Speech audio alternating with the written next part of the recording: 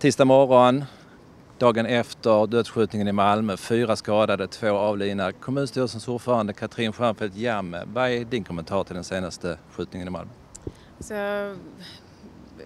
I grund och botten så känner jag att jag blir, eh, jag blir arg eh, över att vi har ett litet antal individer som eh, visar så, så stor hänsynslöshet eh, och som, som skapar så mycket skada och eh, otrygghet. Eh, jag var i kontakt med polisledningen igår för att förvissa mig om att de har allt det stöd och det, den uppbackning de behöver för att få ett snabbt avslut på detta.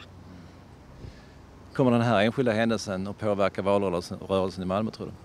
Alltså mitt perspektiv handlar inte alls om valrörelsen här utan det handlar om att snabbt få en situation där gärningsmännen kan plockas undan från gatan och att vi får en trygg och lugn situation. Eh, polisen har under lång tid plockat in ett eh, antal grovt kriminella som under en tid har bekämpat varandra och härjat och har under en tid plockat in många och fått bort dem från gatorna. Men det är klart att ett litet antal individer kan göra stor skada så att nu är fullt fokus på för att få fast förövarna. Tack så mycket Katrin Stjernfeldt Jammeh, ordförande i kommunstyrelsen i Malmö.